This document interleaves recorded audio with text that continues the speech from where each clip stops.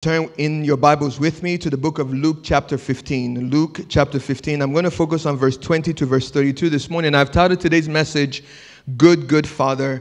It's a song that we sing often and always, yes? In fact, we sang just a moment ago about the faithfulness of God in our lives. And I hope, as I mentioned at the 9 o'clock service, I hope this morning that when you sing songs of worship to the Lord, that they're more than just words you, you're following on the screen.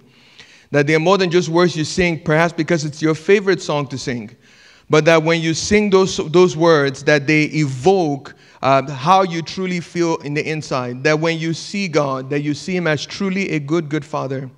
Um, and I know sometimes, you know, it's easy to maybe uh, impose on God some of the, the same expectations that have come from our experiences with our own earthly fathers. But one thing I like to tell people is this your earthly father is not God, your earthly father is not perfect.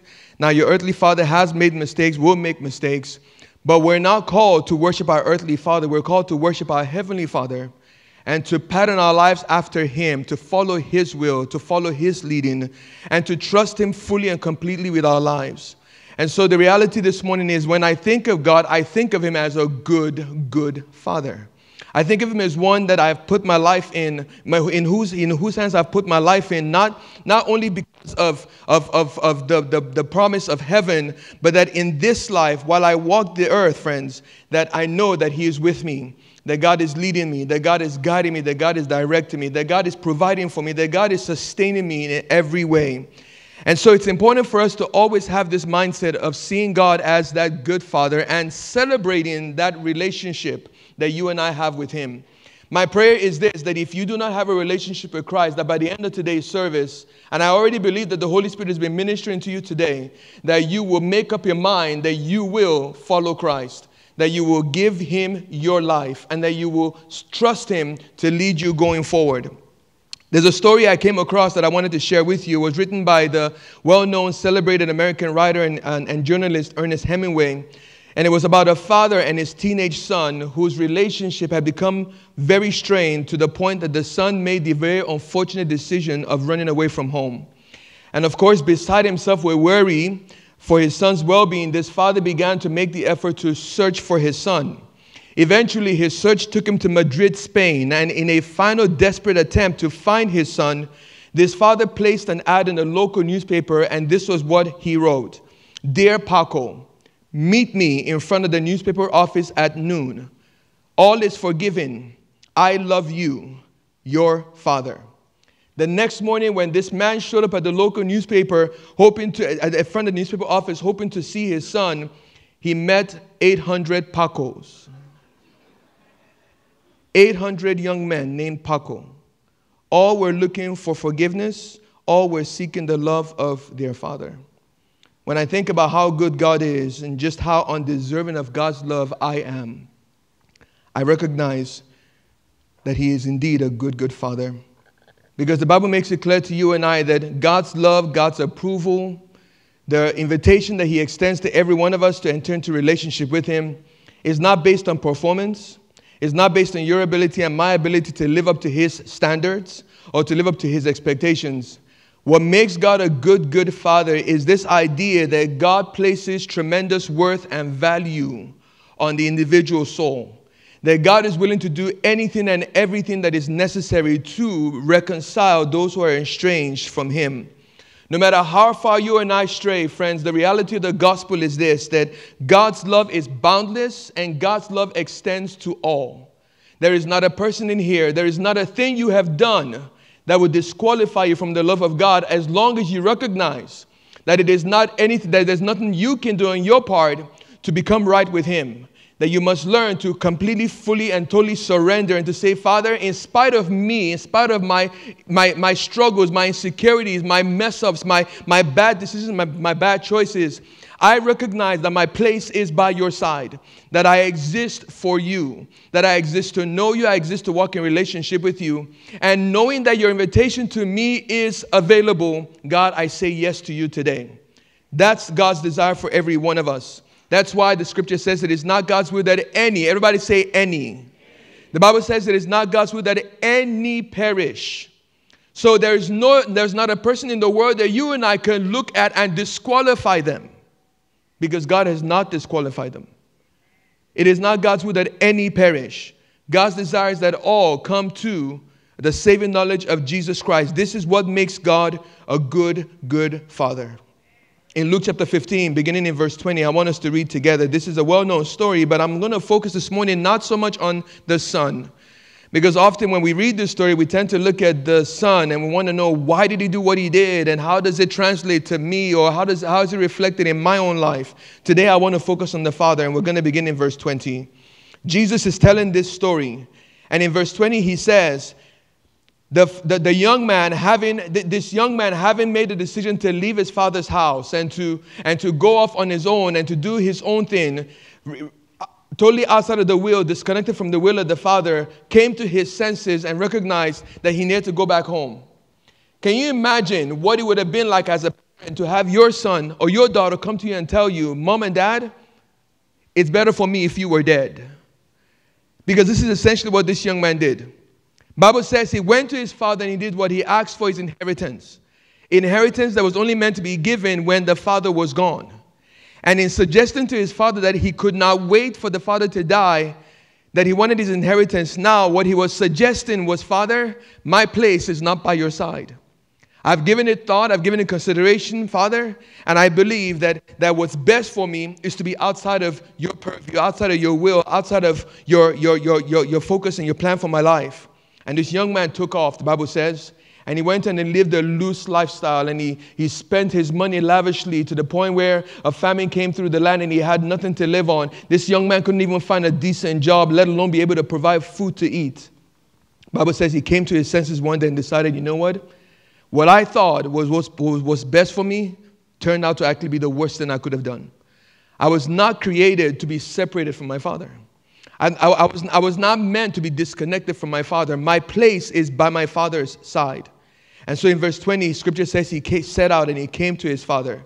But this is, this, this is where you see Christ focusing his story. He says, But when the father saw his son a long way off, he felt compassion for him, and he ran, and he embraced him, and he kissed him. And the son said to him, Father, I have sinned against heaven and in your sight. I am no longer worthy to be called your son. But the father said to his slaves, Quickly bring out the best robe and put it on him, and put a ring on his finger and sandals on his feet, and bring the fattened calf, slaughter the calf, and let's eat and celebrate. For this son of mine was dead and has come to life again. He was lost and has been found, and they began to celebrate. Now, of course, not everybody was happy. You know the story. Not everybody was happy with what was taking place. If anything, there were some that probably felt like this son did not deserve the father's reception. And so the scripture goes on to tell us in verse 25 that the older brother of this prodigal son was in the field. And when he came and he approached that house, he heard all of this music and dancing and revelry. And he begins to wonder what's going on. And so he summons one of the servants and he begins to ask them, What is going on? And one of them says to him, Your brother has come. Your brother has come. And your father has slaughtered the fattened calf because he has received him back safe and sound. Note that. He said, Your brother is back. All of this revelry, all of this party, and all of this celebration is because your brother is back. And in response to your brother coming back home, this is what your father is doing.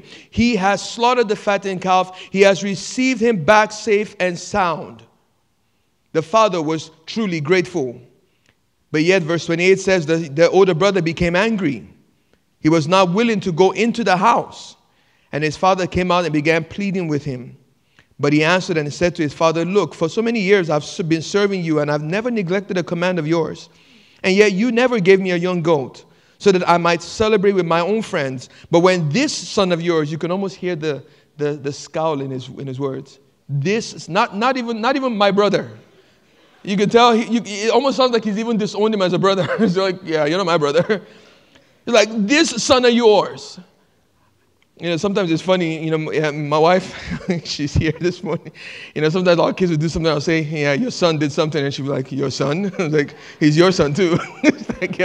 of course. Um, but, but the young man is like, this son of yours, this is what he's doing, and yet this is how you're going to respond? He doesn't deserve this. This is not how you respond to one who has essentially said to you, It would be better for me if you were gone. This is not how you respond. And yet the father responded by saying again, for so many, by saying again, um, son, you have always been with me, and all that is mine is yours. But we had to celebrate. We had to rejoice. Why? Because this brother of yours was dead and has begun to live. He was lost and has been found. Again, you see the heart of a father who is so committed to, to, to seeing his, his, his son who has strayed from him, who had strayed outside of his will, his perfect plan, be brought back into right relationship. Again, I remind you this morning that, that God's love is boundless and it is available to all, no matter how far we stray.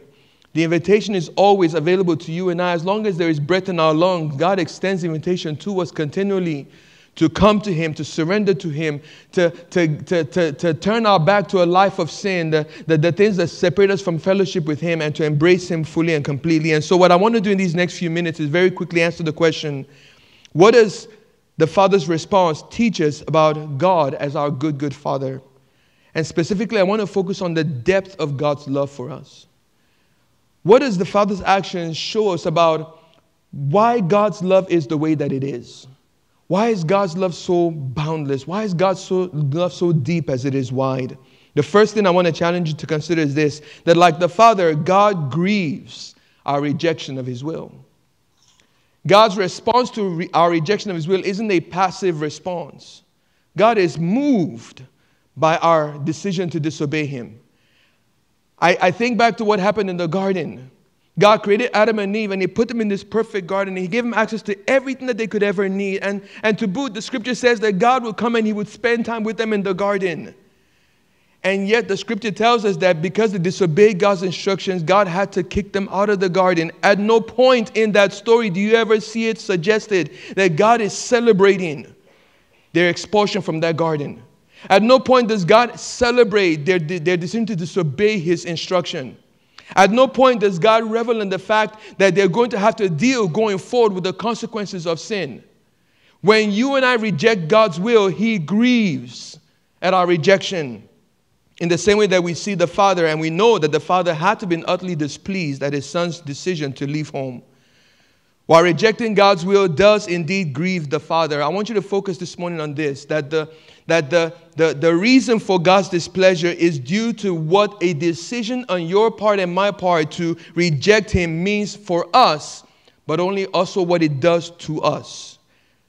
Number one, rejecting God's will means that we're refusing God's best. Jeremiah 29 11, the apostle, the, the prophet writes, God speaking on behalf of the Lord, for I know the plans I have for you, declares the Lord. Plans for prosperity and not for disaster, plans to give you a future and hope. God is laying it out for you and I that when it comes to the things that He desires for us, that there is no equal. And that everything that God does for us is for us, is for our best. It's, it's to accomplish His purpose, but it's ultimately for our good. And, and you know, sometimes as we go through life, it can be easy to wonder why, especially when we're going through challenges or difficulties or, or, or, or turbulent times in our life, we wonder, God, what, what good could come out of this experience? God, why are you allowing this in this season of my life? But the reality is, if we can but trust God that He is a good, good Father, and that we, we not lose sight of that reality, no matter what we may be going through, we don't ever have to wonder or question whether God's plans for us are still good. God says, I know the plans I have for you. They are to prosper you, they are not for disaster, they are to give you a future and a hope. But when we reject it, we're saying, God, I don't want what's best for me. Rejecting God's will also exposes you and I to his judgment against sin. In John 3, verse 18, the Lord himself said that the one who believes in him is not judged. The one who does not believe in him has been judged already. Why? Because he has not believed in the name of the only Son of God. Bible makes it clear to you and I, friends, that you and I already stand condemned. Outside of the, the redemptive work of Christ on the cross, we all stood condemned. All, all have sinned, the Bible says, Romans 3.23, all have sinned and fallen short of God's glorious standard. All of us have, have, have, have violated God's requirement, and so we all stand guilty before God.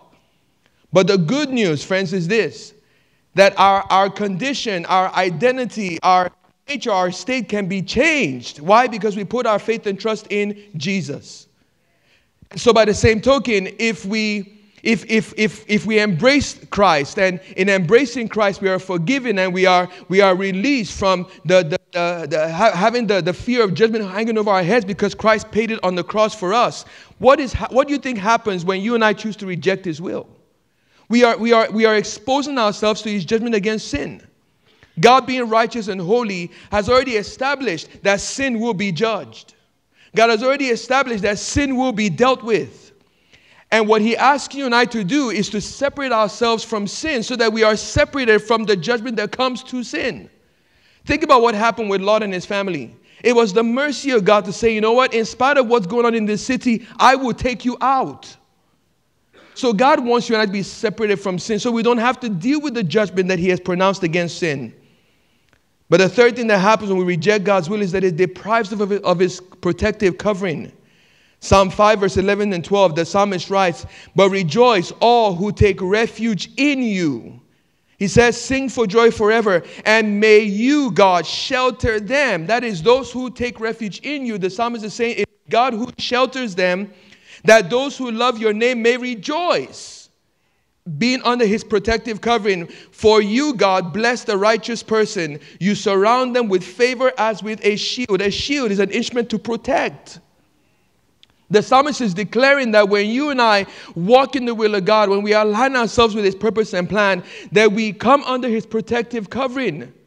That we can confess, as the psalmist says, that he who dwells in the secret place of the Most High shall what? Shall abide. Everybody say abide.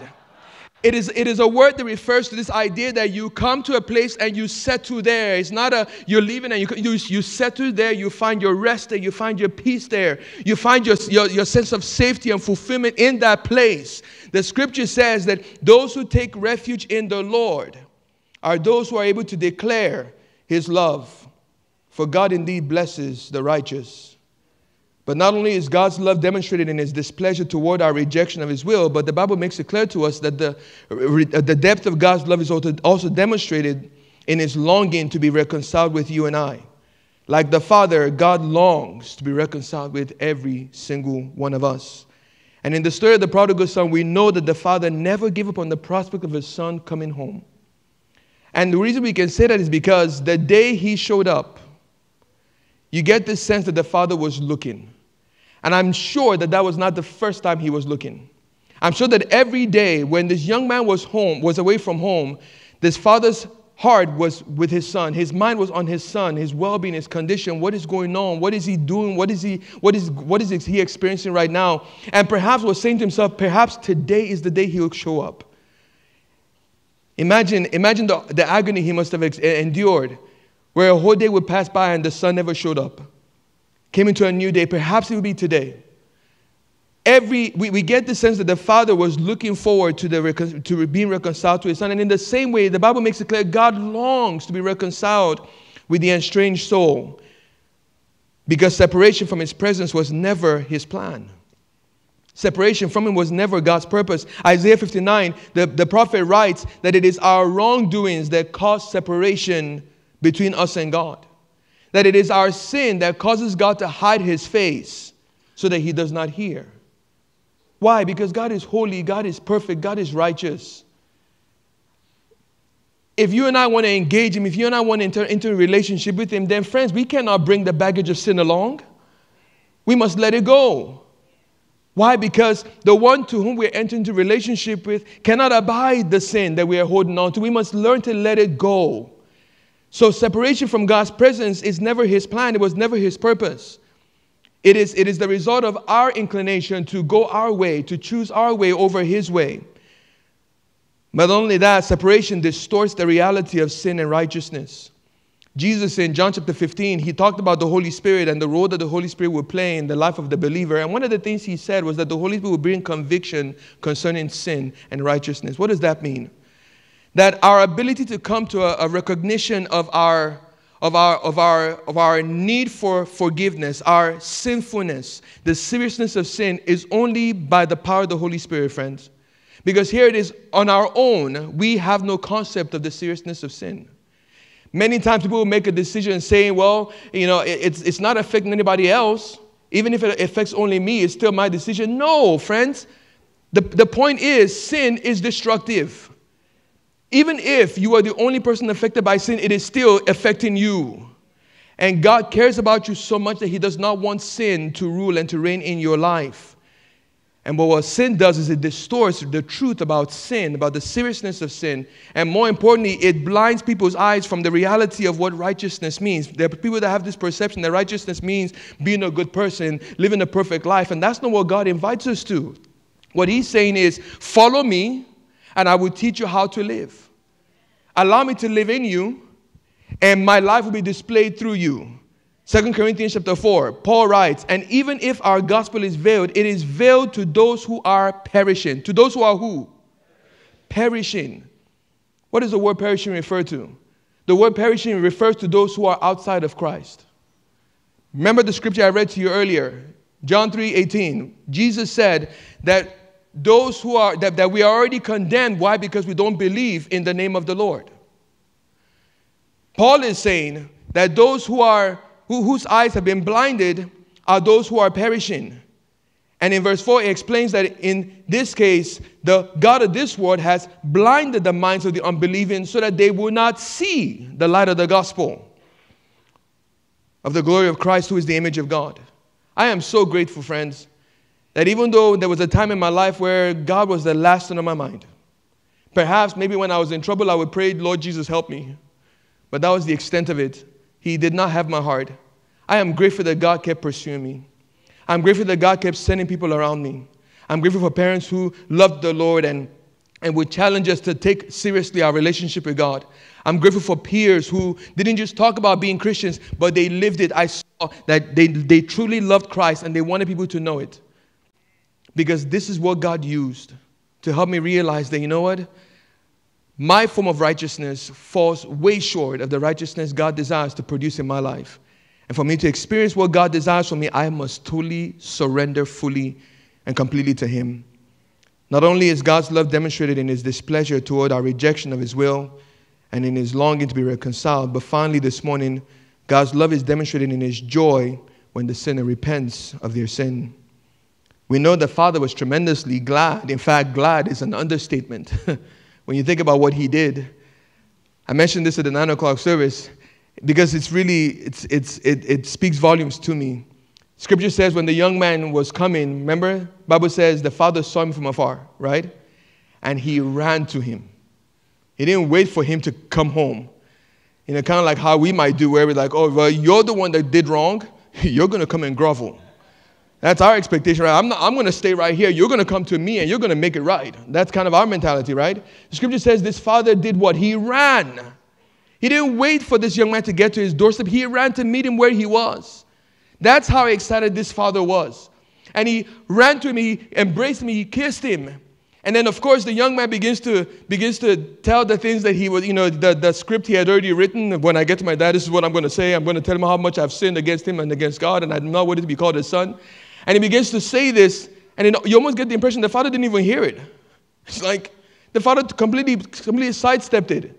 Not to suggest that repentance is not, is not, is not important, it's required. But notice that the father, the father recognized that this young man is here. Why? Because he recognizes that he needs to be here, that he belongs in relationship with his father. Here's what repentance does. Friend, repentance releases forgiveness. Acts 3:19, therefore repent and return so that your sins may be wiped out, in order that times of refreshing may come from the presence of the Lord. Repentance brings freedom. 2 Corinthians 7:12. For the sorrow that is according to the will of God produces a repentance without regret, leading to salvation, but the sorrow of the world produces death. And repentance finally provides peace. Romans 5:1, having been justified by faith, Paul says, We have peace with God through our Lord Jesus Christ. This young man came home expecting that he would forever be deprived of the privilege of sonship, and he got so much more forgiveness, embrace, wide open arms. Why? Because it is not God's will that any perish. It is not God's will that any perish, that any be lost. This is how much God cares about the soul.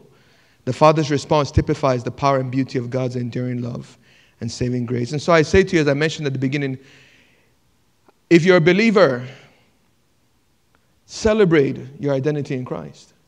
You have much to be thankful for. You have much to be grateful for because the God who pursues you, the God who called you into relationship with Him, gave up everything. That's how much you matter. And my prayer for you is this that, that as the psalmist said, that you you'll be able to, it will be your daily reality that you are you are rejoicing and celebrating salvation so much so that it overflows in your life, that everywhere you go, people wonder what is what is going on with you. But that you can say to them, I'm just grateful that I'm a child of God. I'm just grateful that I'm forgiven. I'm grateful that I have a relationship with the King of Kings and Lord of Lords, that He lives in my heart, that He's changing my life, that He's given me a hope and a future. He's given me a purpose. He's given me a zeal. He's given me a passion for life. I, I, am not just, just, just drifting through life. I, I, I know that God has a call upon my life and I'm, I'm living it out every single day. You can do so with joy.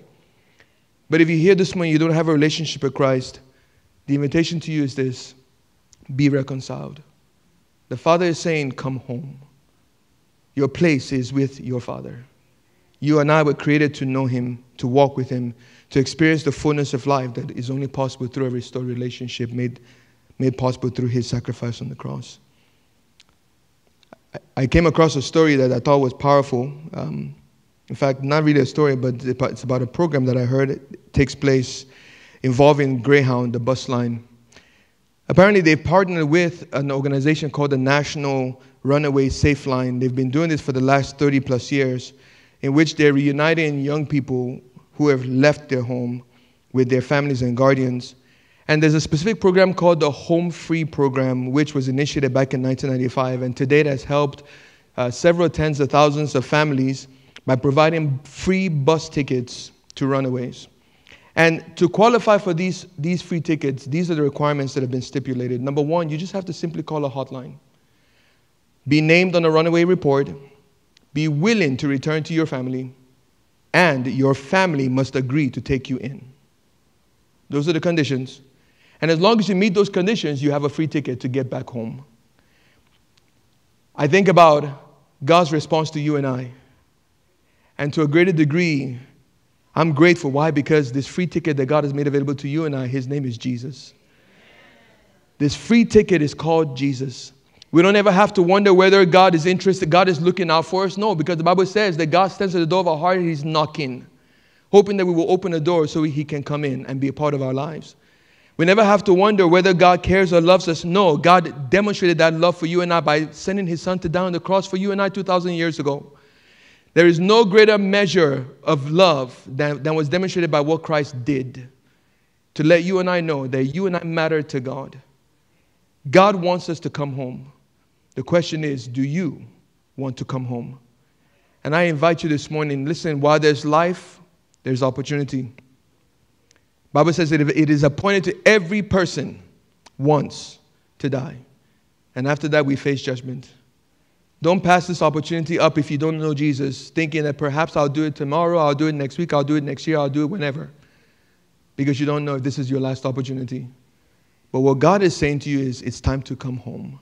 If you're watching online, God is saying to you as well, it is time to come home. And it's very simple the way you do that. The complicated part, Jesus took care of on the cross. All he asks us to do is to respond in faith. And how do we do that? We acknowledge that we are sinners that it is our sin, our sin that separates us from relationship with God.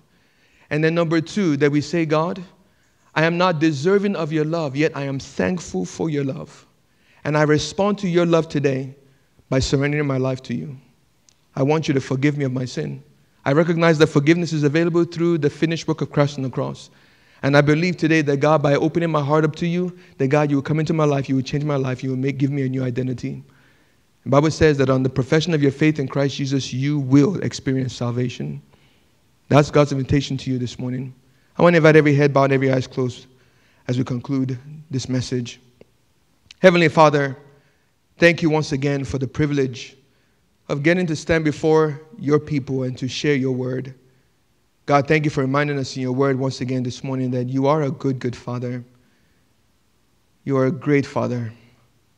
You are perfect in all of your ways, Lord. There is nothing about you that we, we have a reason to question or to doubt because, God, you are righteous. And God, I thank you for drawing us, inviting us, bringing us into a living daily relationship with you. A relationship through which our lives are being changed, renewed, transformed. God, thank you that every single day we are learning to become more and more like our Savior Jesus Christ, experiencing fullness of spirit filled, spirit led life. God, I want to pray this morning, especially for those who are here and maybe listening or watching who don't have a relationship with your Son. God, thank you for sending Jesus. As we were reminded earlier in the service, Jesus is the greatest gift that we could have ever received. And the gift of Jesus is available to whomever may be to here today who is willing to acknowledge, I need forgiveness. Father, thank you that on the heels of their profession of faith, that God, you will indeed forgive, and that God, you will transform their lives. And so, with every head bowed and every eyes closed, whether you're here at Fondren Campus or you're watching online, I want to ask you very quickly if you would accept Christ as your Savior and Lord. I would like to lead you in a prayer.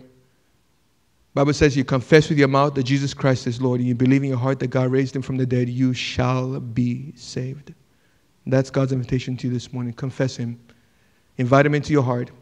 Welcome him as Savior and Lord. And if that's you this morning, I want to invite you to pray this very simple prayer with me. And I want to invite the entire congregation to pray to encourage those who are praying to receive Christ today. Let's pray together. Dear Lord Jesus, I know that I'm a sinner. I believe you died on the cross for my sin. I believe you rose from the dead. And so today I, I turn my life over to you. And I trust you. I confess you as Savior and Lord. And I invite you to live in my heart and help me to live for you. Thank you for making me a child of God today. Thank you for giving me a hope Thank you for giving me a future. In Jesus' name, amen. Would you give a hand of applause this morning to thank God for what He